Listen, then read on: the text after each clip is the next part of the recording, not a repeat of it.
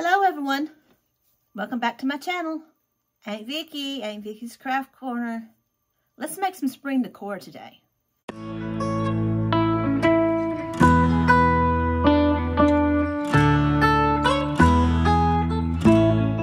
we're going to be making some spring decor. Uh, I made a trip to the Dollar Tree and found a few things this past weekend, as I said, and I'm going to see what I can make. Um, I also went foraging in my yard for some small branches, and I am going to insert that here. Okay, now, so what I am going to do is I am going to see if I can find me some sticks off of some uh, trees or some bushes that I can use in a, um, a spring decor piece that I'm going to do. What I'm going to try to do is I'm going to try to get some sticks with some little branches coming off of them. And I'm going to try to glue a few flowers and some leaves to them to see if I can come up with a floral arrangement. So let's see what we can find. Okay, I think I found some. So I'm going to take my snippers. Now, let's see what we can... Here's one. Let's cut this one. See. Don't mind all of our cars. I'll show you what I get when I cut them off. So this is what I found. And as you can see, as you can see, things are budding out here in East Tennessee. Can you see? Things are budding out here. Let's hope we don't get a frost or a freeze that kills it out. Looks like spring is coming.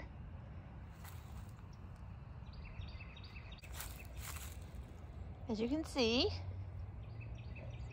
the crabapple. So as you can see, I went foraging in my yard. Things are starting to bud out here in East Tennessee. And I found a few small branches. And what I'm going to do is I'm going to take, they're all tangled up, some small branches and some flowers. These are called Blooming Branch.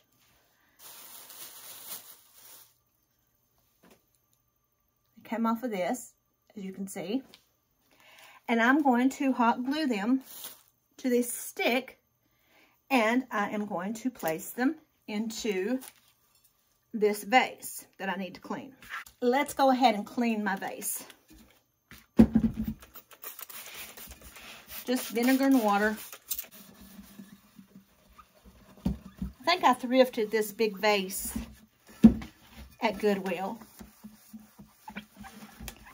And it wasn't very much. I can't remember how much I, it was, but it wasn't very much. So let's clean it somewhat.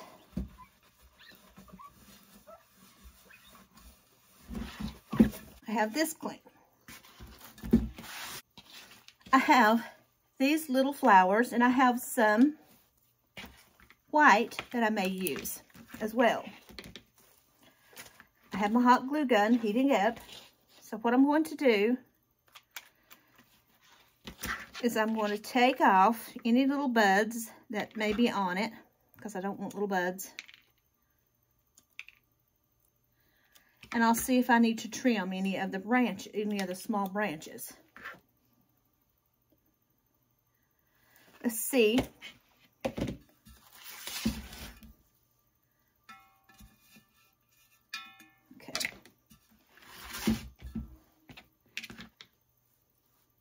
I may have to get another vase. This may be too tall. So what I'm going to do, put a little bit of glue, take my scissors, and you see the little yellow thing? I'm going to trim it back just a, a tad, just so it'll lay flatter. Put a little bit of glue, and I'm going to place it onto the branch. Hold it for a few seconds and let it dry.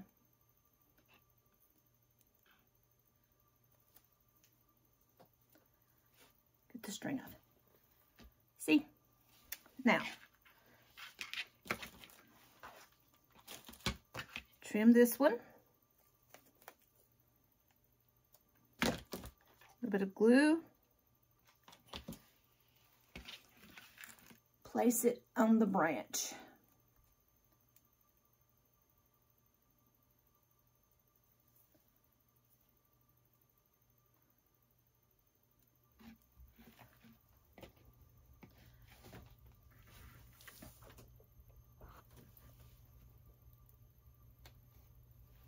Let's go ahead and get this one done.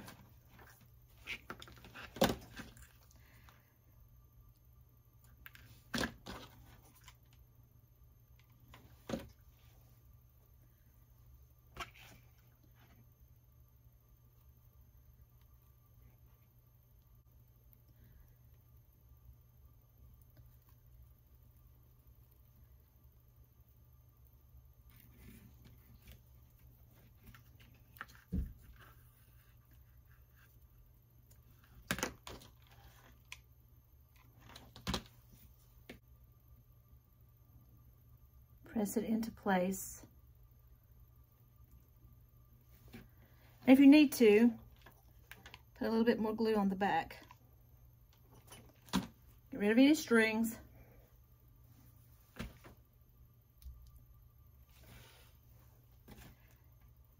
You don't have to just put them on the edges of the branches. Like right here is a little nub. So let's go ahead and put one there.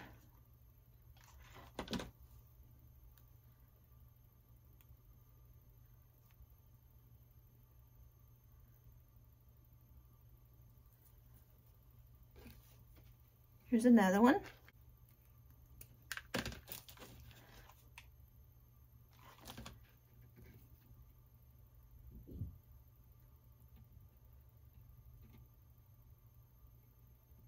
Hold it in place till it sticks, till it dries.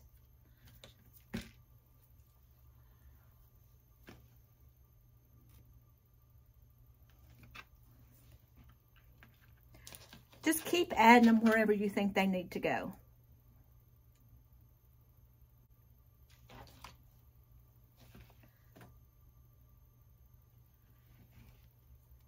I think anywhere that I cut off a bud is where I'm going to place a bloom.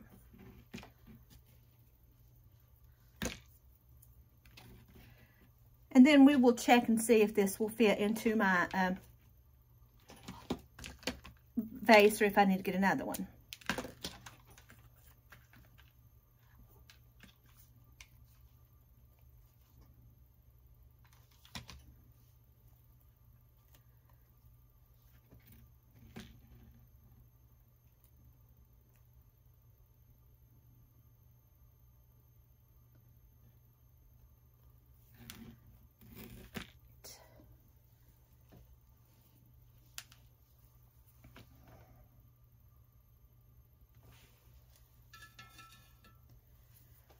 Now let's get a another one. Let's kind of trim this one back just a tad. Cut off any buds. Now,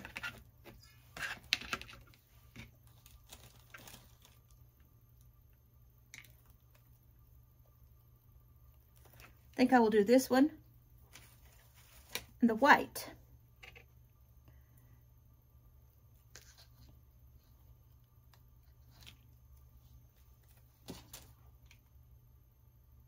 Little white bloom and attach that.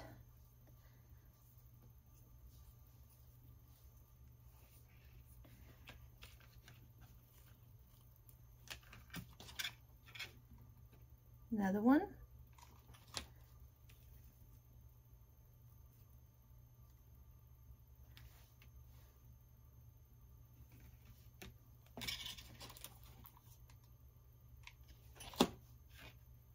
This one has two layers, so.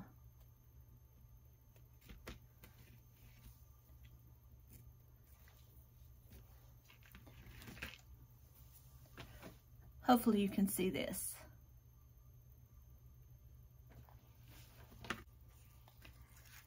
Let's go ahead and add some more. Like I said, this is two different layers, so I'm going to have to layer these on.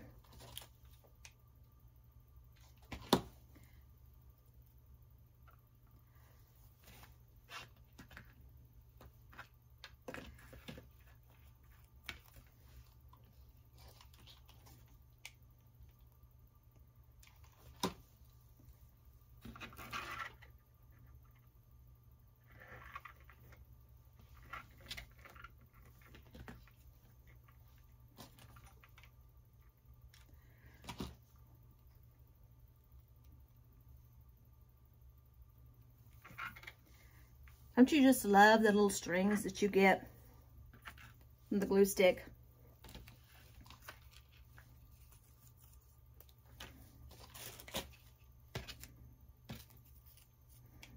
Like I said, make them as full as you want them to be.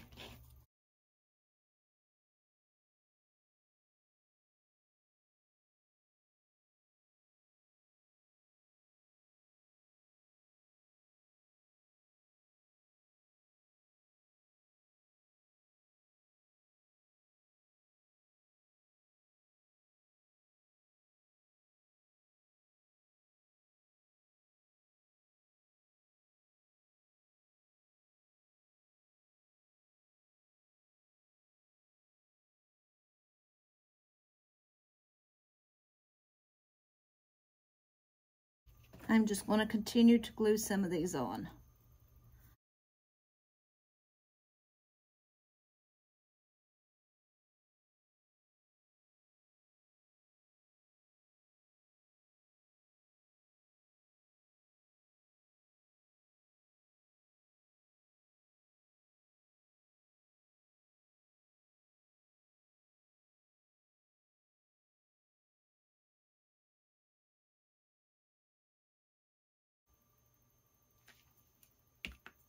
There's this one. Let's put one down here.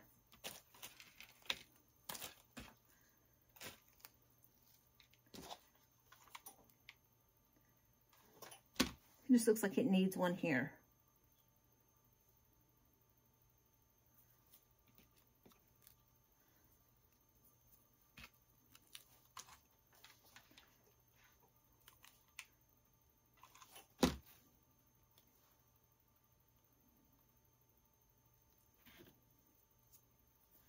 Now, stick this into my vase. I'll show you what they look like when I get them done. That is what it looks like. Now, I don't know if I like it in this vase or if I should put it in this picture right here.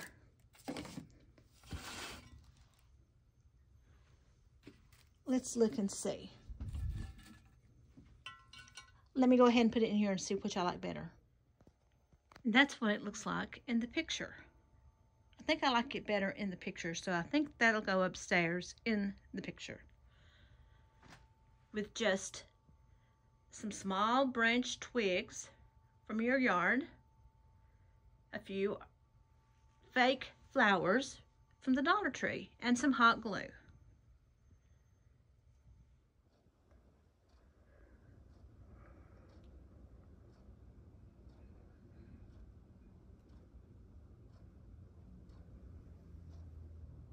Now I'm going to show you how to make a bird's nest on a bed spring. This is a bed spring I've had for a couple years that I spray painted. I also have this bird's nest, this wooden platform that I'm going to use. And I also found these eggs at the uh, Hobby Lobby. They were $4.49 and they were 40% off. So I also have a couple of different different birds. I'm not sure yet what I'm going to use, so we'll see. So, let's go ahead and put some hot, let me grab another hot glue stick. I know I'm going to need one.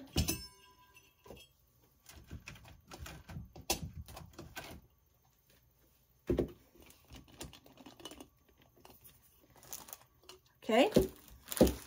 Now, let's go ahead and put a liberal amount of hot glue on the spring. Then we're going to take our piece of wood and press it down. This is going to give some stability to the uh, nest. This is going to be very easy to do. Extremely easy. Let's put some hot glue on the piece of wood.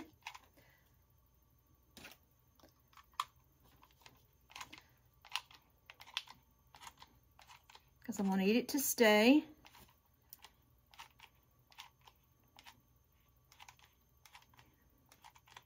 Liberal amount of this as well. Okay.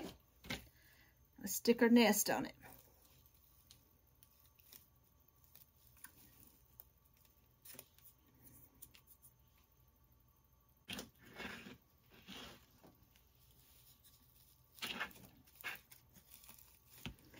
Now,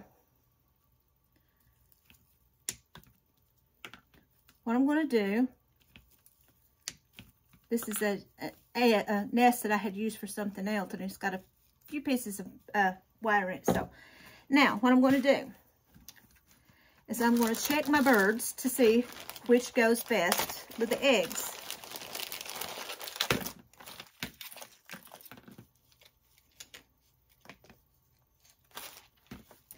Well, they kind of have creepy faces. But let's see.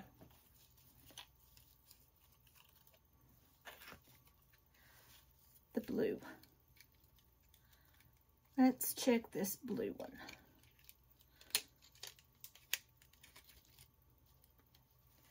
Take her legs out. I don't think I'll need her legs.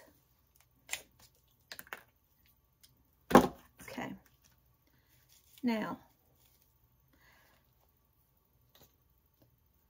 I know that it may not be proportioned, but this is what I'm going to do.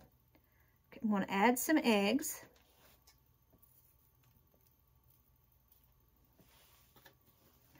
Tan colored one. A yellow one.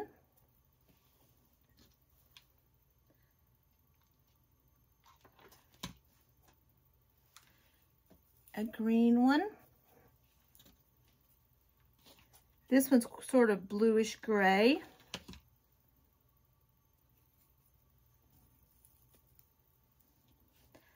Now, how many eggs do we want to give her? Is the question.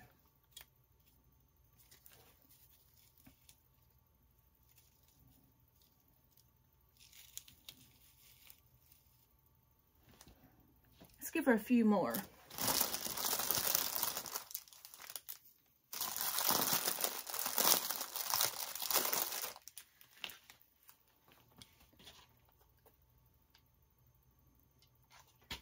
This light green.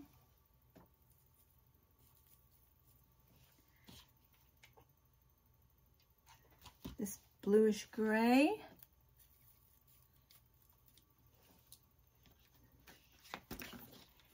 Darker green.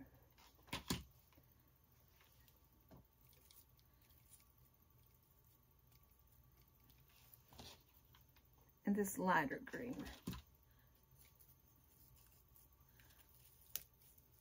All right. Get rid of any strings. Now, let's go ahead and put a liberal amount of glue on her. And press her into the nest.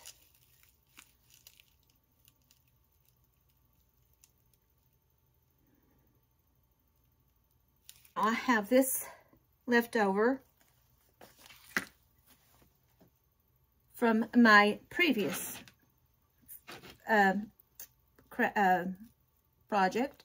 So let's just stick some of these into the nest. Just give it a little bit of extra dimension,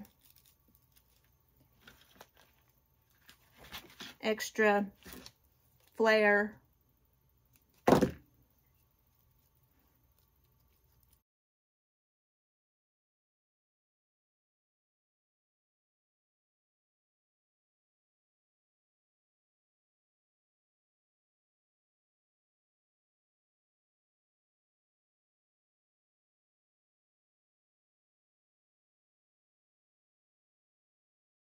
The thing here is to make it your own.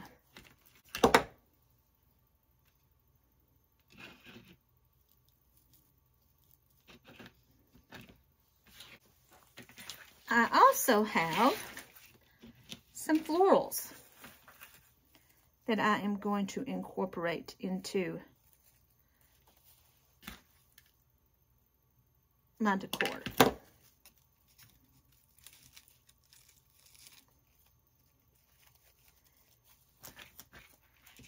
Okay, let's see.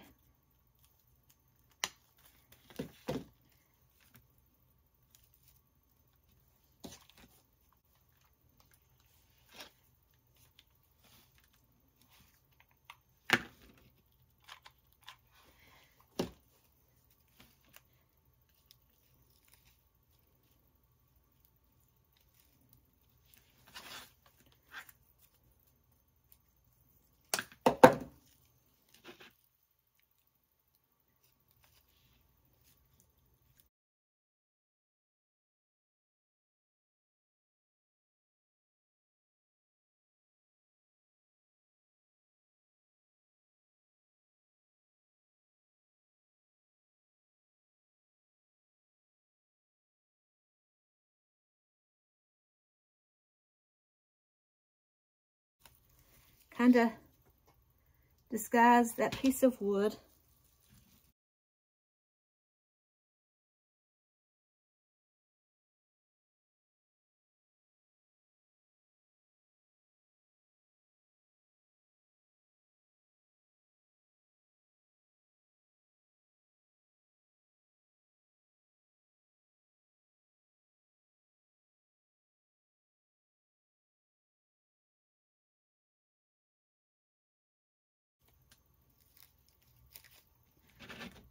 Right, let's go ahead and cut off some of these and glue these in.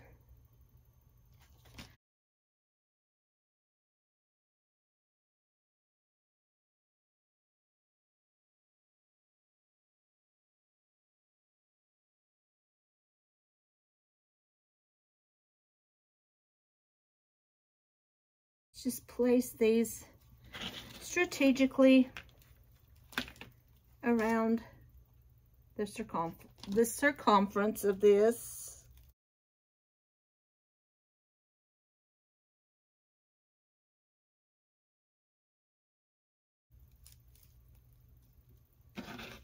I have that done. I have these little bitty pieces here. And I'm just going to place these in as well just whatever you want to put in or nothing. Just to fill in gaps and hide the wood.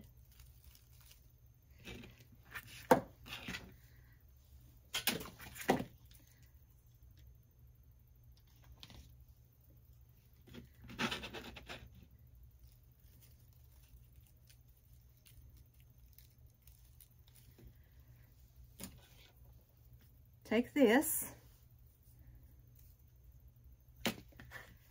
and I'm going to add it as well.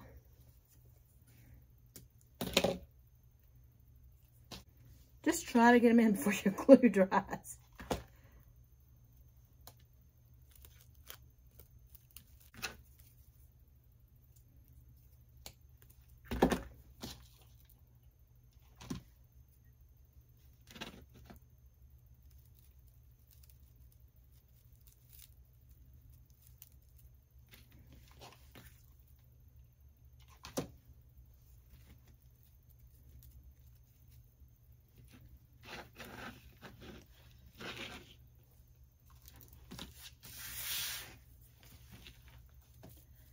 And of course you can manipulate them.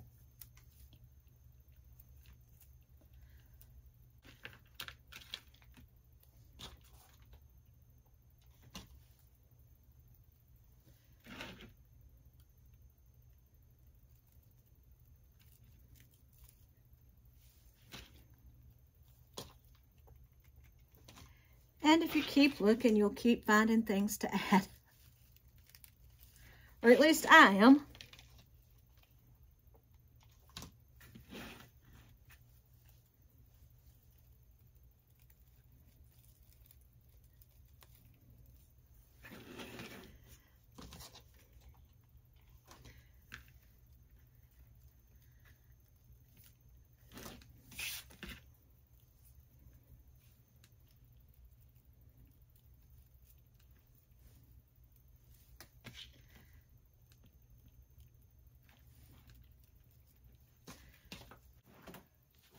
And this is what it looks like.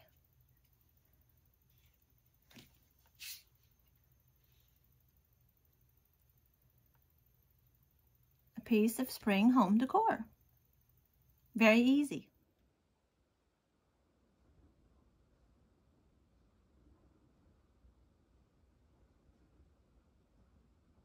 that was my two spring decor crafts that I created for you all today. I hope you go out and scavenge your yards and see what you can find. Branches, twigs, uh, rocks, anything. And see what you can come up with for spring. Uh, these were both very, very affordable. Uh, I think I gave like maybe less than $4 for the florals on the, um, the twigs that I put together. I spent uh, right around $3 for the eggs that I got at Hobby Lobby. I had everything else. I got, well, I thrifted the, a bag of little birds for like 99 cents. I already had the, uh, the nest. I scavenged the bed spring outside, brought it to the house and spray painted it. Um, I had the florals for that as well. See what all you can find. See what you can come up with. I hope you enjoyed this. I know it was different, but I hope you enjoyed these little crafts that I put together. And don't forget to like and to subscribe and to comment with things that you want me to, to do in the future. I love reading comments, like I've said. I've said numerous times. I love reading your comments. I love commenting back as well. I try my best to comment back to everyone who comments on my videos.